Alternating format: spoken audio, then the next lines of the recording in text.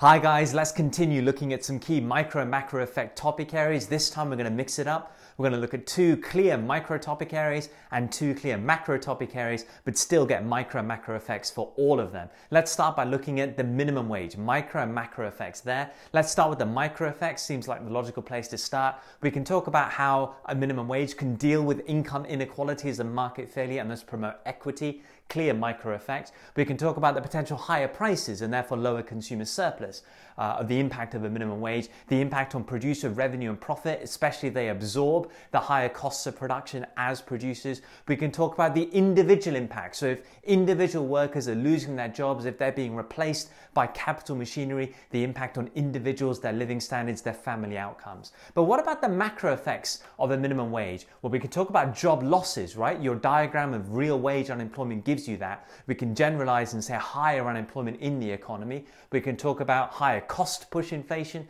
if wages are being driven up. We can talk about the impact on competitiveness, worsening competitiveness, a supply side cause of a current account deficit. We can also talk about the impact on government finances. So if a government is a major employer of minimum wage workers, it's going to worsen government finances. Whereas if they're not a major employer of minimum wage workers, the private sector is, then actually they can get a tax revenue benefit.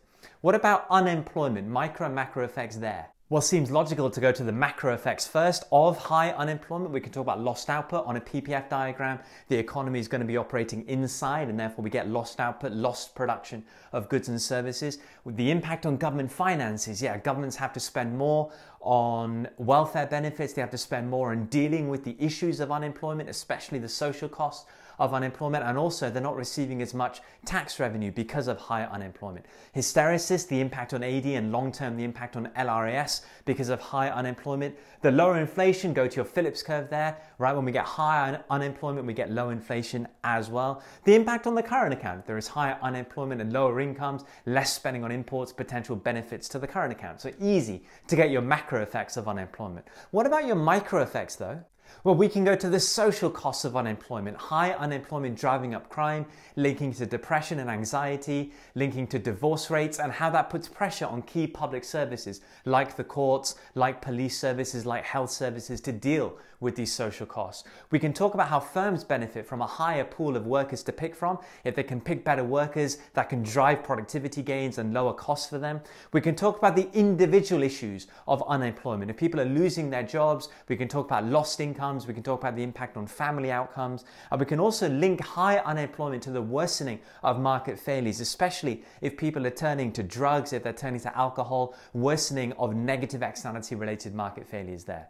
So simple stuff, guys. Let's keep going. So the micro and macro effects of nationalization. Let's go to micro effects first. We can talk about how nationalization might be solving a market failure in the form of monopoly power. So now if we deal with that monopoly power, we get allocatively efficient outcomes. We can then talk about the lower prices, the higher quantity, the better choice that consumers have in this kind of market. Why? Because the state in theory, has an objective of maximizing social welfare, and therefore we're going to get these benefits, these allocatively efficient outcomes. You can talk about how one dominant state run firm could benefit from greater economies of scale, especially if it's a natural monopoly market. And we could talk about how the state is not a profit maximizing employer and therefore might focus more on training workers, boosting productivity, improving skills of workers. What about the macro effects? Well, we can talk about the hit to government finances, the cost of running these public services or whatever that state run company might be, and link that to budget deficit worsening, national debt rising. We can talk about greater employment. Remember that we just said it, the state is not a profit maximizing employer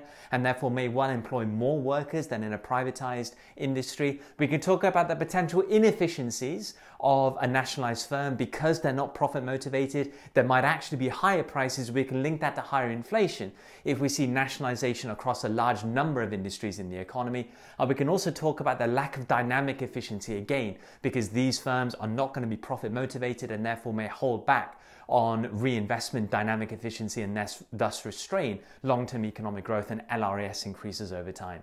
What about market based development policies, the micro and macro effects of those? Well, let's go to the macro effects first. If we think of some of these policies like trade liberalization, like promoting FDI, like tax cuts, like privatization, deregulation. A lot of these policies will boost economic growth, whether AD or LRS, and from there we can go to higher incomes, better living standards, both material and non-material living standards. We can talk about poverty alleviation, absolutely. Linked to higher economic growth, we can talk about job creation. Labor is a derived demand that's driving down unemployment. We can talk about greater tax revenue collection. Again, you can link that to higher economic growth, or directly you can link it to higher FDI. So if there is more economic growth, you can talk about higher income tax revenue, high corporation tax revenue, high VAT revenue, higher tariff revenues, link that to the government fiscal position. But also, we could be concerned about income inequalities, depending on where this growth has come from, depending on the type of market based supply side policies used. There could be widening of income inequality,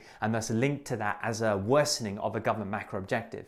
What are some of the micro effects, though, of market based development policies? Well, we could talk about the gains of allocative efficiency. We can talk about how a lot of these policies now can boost competition and if that is true, we get allocatively efficient outcomes. That's great because it means lower prices, it means higher consumer surplus, high quantity, high quality, high choice.